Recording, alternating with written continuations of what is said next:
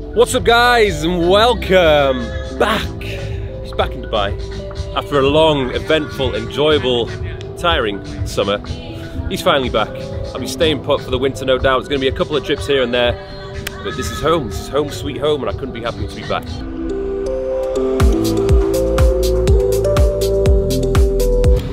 So it was an active summer indeed. Quick roundup, where did we go? Went to Bali, couple weeks, then headed over to Ibiza, then went to London, then Marbella, then Capri, then Saint-Tropez, then Ibiza, then London, then Ibiza again, then we went to Mallorca, then Marbella, then London, and then we're back here. So it was very good. I literally have a suitcase and that was it, and I just traveled. I went anywhere I wanted to go, doing whatever I wanted to do, having complete and utter freedom, which was an, that was an amazing feeling. And I think if you guys get the opportunity to do that, particularly those people who work online, go and do it. Just pack a suitcase, all the essentials, and go travel the world.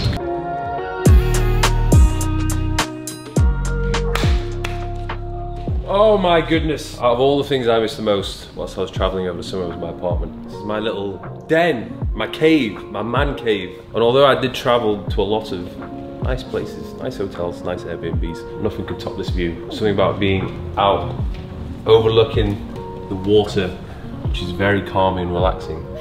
I was semi-tempted to move downtown because I wanted to know what it was like to be downtown. And a lot of the places I go to in Dubai are actually located around the Burj. Oh, there's no beach there. No beach access. And to be honest with you, I feel like if I move away from here, I'm gonna miss the beach. So we're staying put, at least for the next 12 months. You know what else I've missed? This bad boy. Making my morning coffees. I had a little bit of an obsession with going to coffee shops when I was traveling. My new drink of choice is the oat milk cappuccino. I came back and I realized that this thing actually makes one. We put the little nozzle, this thing, into the barista gluten-free oat, fabulously foamable. and we press cappuccino. I do like it a little bit sweet, so we have the stevia in here.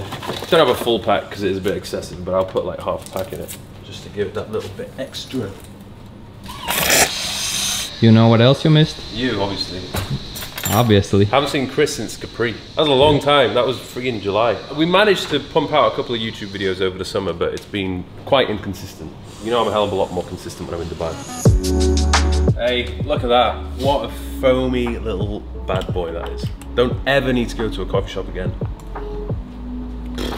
This is where I now perch myself in the mornings because I've got myself a new MacBook and come around here, Chris, you, you have to you have to see what I see.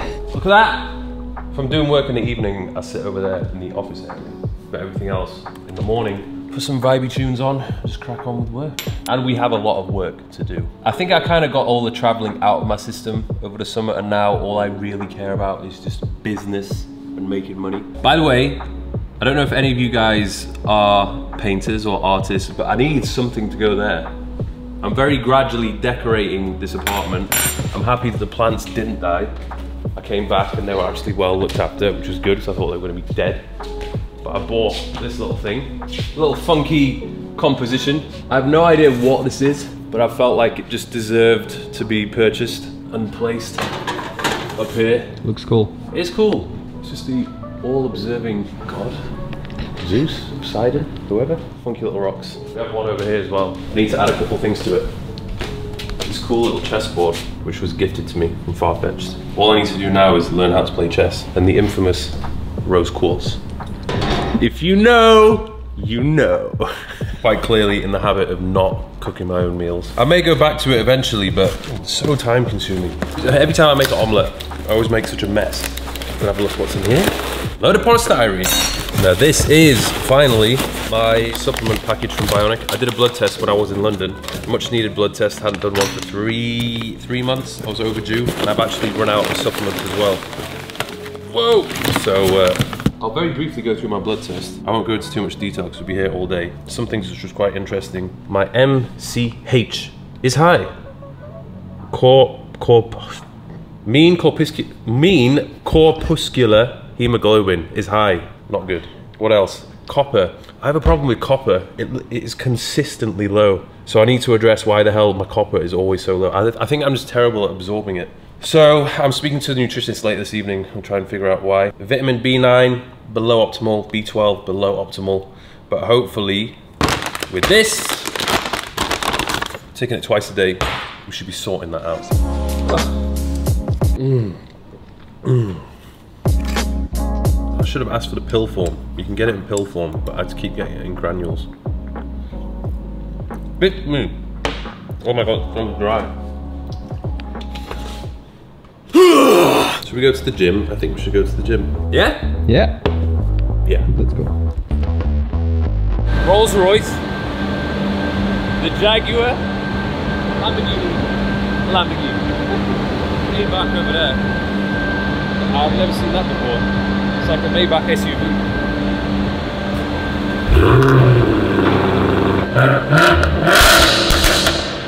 Sorry about that, guys.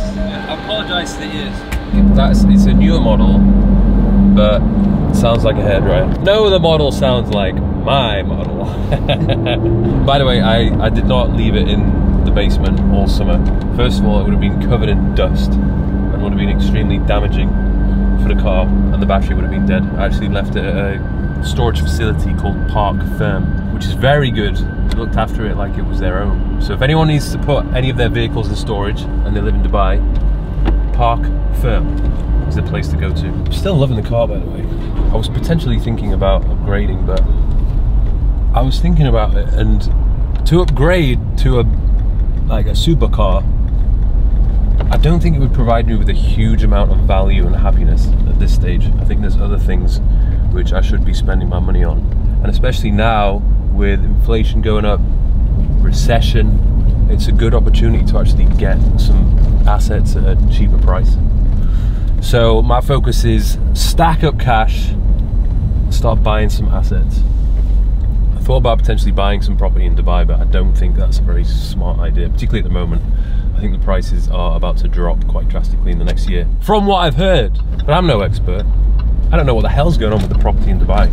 Because the mad thing about Dubai property is they keep increasing the supply, they're always building new places, but then they keep putting the prices up as well. it- It's not making sense. So there is there's going to be a crash at some point. So uh, maybe in a year's time I'll look at buying something here. For now I'll just stay renting.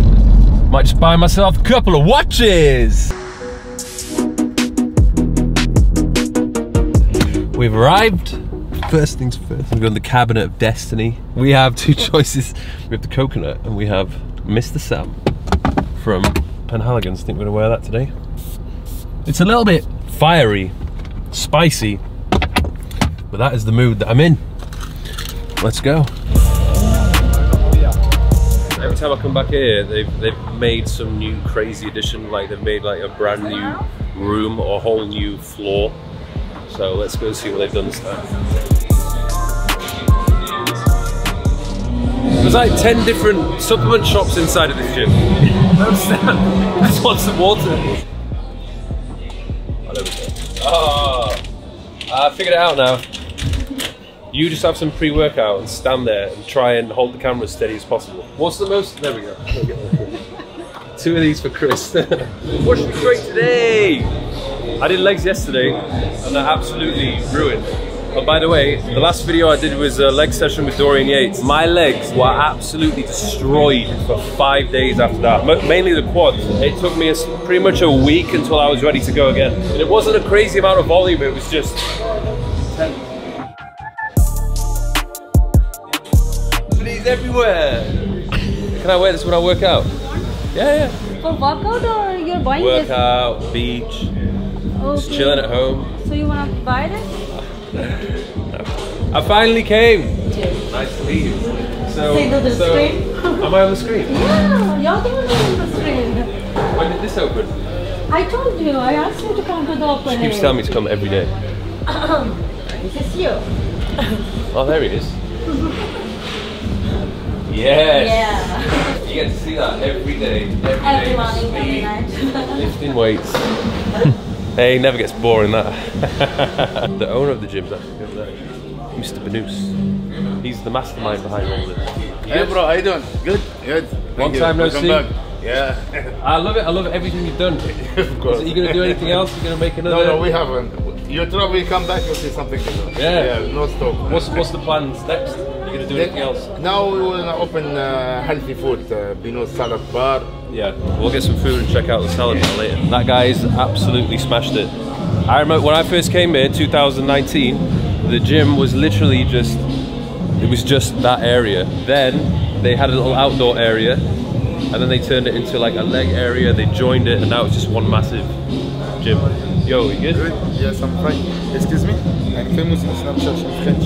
Yeah. You know? You want me to say some French? Bonjour, bonjour, je m'appelle Michel. Non mais stop pas ça. Pas stop pas avec comme ça. Faut que tu vas un peu devant. oui. Have a good session, whatever you do. I'm, I'm starting now. Oh, Just a big Ramy. Oh, Who wants to see me train with Big Ramy? Leave a comment below. I'll get some serious body dysmorphia if I train with him. Should we get started with some training? Oh, there's Larry in the building as well. I thought he came off the gear. He looks absolutely massive still.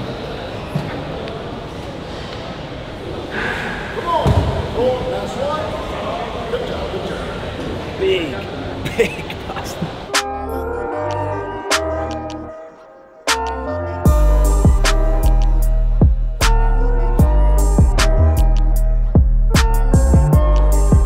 So the past couple of weeks, I've been running one of the new programs on my app. THRST app, I'll show you what it is. It's one I brought out just over a month ago, the Summer Shred program. Bosh, Bosh. So I put this together. Basically, it's a push, pull, legs, rest, and then we've got push strength, pull strength, and then in between you've got a bit of HIIT and LISS. So this has been doing me good for the past couple of weeks. I'm probably going to stay on it for one more week. I'm going to change up the program, yeah, in a few days' time. I'm going to sit down and think about what my goals are currently. The traveling, obviously, has not been great for my training, but I've done all right. I think this time round over the summer, a lot less drinking, sleep was a lot better, nutrition was pretty damn good. So we'll see.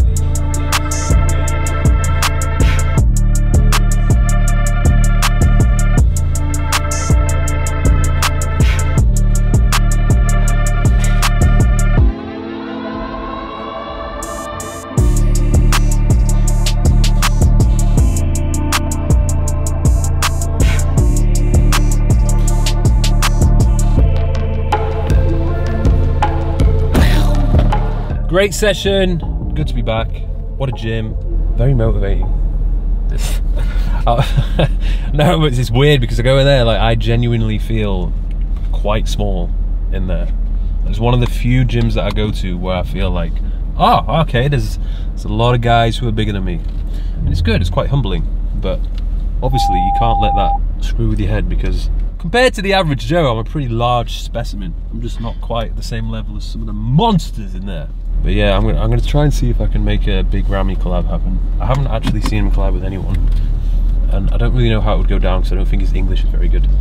there wouldn't be much talking. Anyway, let me see if I can make it happen. Now, we're gonna go to the mall because I need to buy some equipment for some filming. Literally the worst noise of all time. You know, some people get in my car and they're just oblivious to it. I'm like, how could you be oblivious to that? It's not your fault, Chris. Well, actually, it is because as soon as you got in the car, you should have put your seatbelt on. Disgraceful. Yeah, so we're going to go to the mall, get some equipment, which I'll show you when I get to the mall. See you there.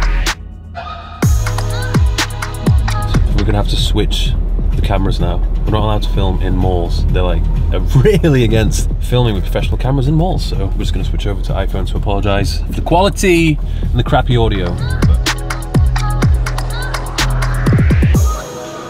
We are going to Sony because I need to pick up a new lens because I want to start filming these videos where I'm basically just sat at home talking to the camera. And the one I've got at the moment isn't really good enough. Obviously, it's very competitive out there, so I need to make sure that the production quality is on point. And then I'm going to get some lights as well because filming in the dark needs some good lighting. And I feel like at night time, that's when, you know, sometimes I just want to make a video at night. If I haven't got the lights, then I can't really do it. Ain't that right, Chris? Yep.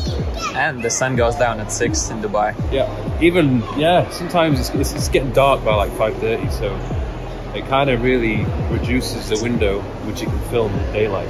By the way, everybody who asks me what equipment I use, I don't have a clue. So this is the man. What what are you filming with at the moment when you're shooting my videos? Sony a7S III as my main camera and Sony G Master lenses. Oh, And you edit, what do you edit? What software? Uh, Adobe Premiere Pro, and I use a MacBook 16 inch, the newest one. Nice.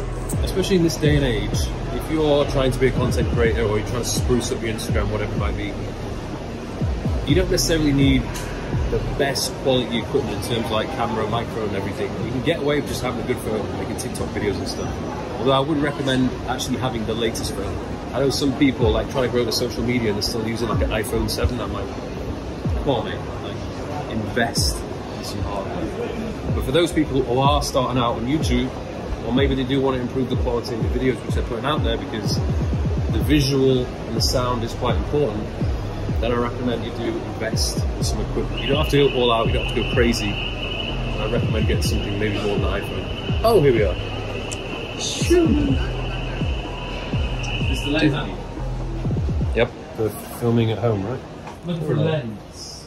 Focus, focus. focus. Think we've found a winner. da, da, da, da, da, da.